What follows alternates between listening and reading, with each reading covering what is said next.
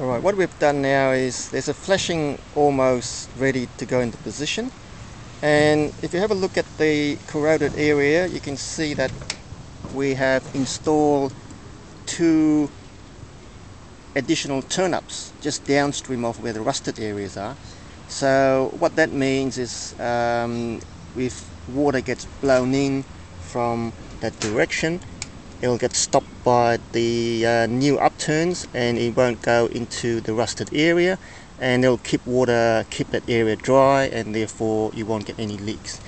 Um, it's uh, the two upturns uh, are strictly not quite necessary but uh, we've put it in there anyway uh, because as you can see this new flashing it's called a tile flashing um, it actually covers those two pans um, that uh, are rusted. So water in theory uh, will not get into those two pans anyway. We've, we've done that as a precaution.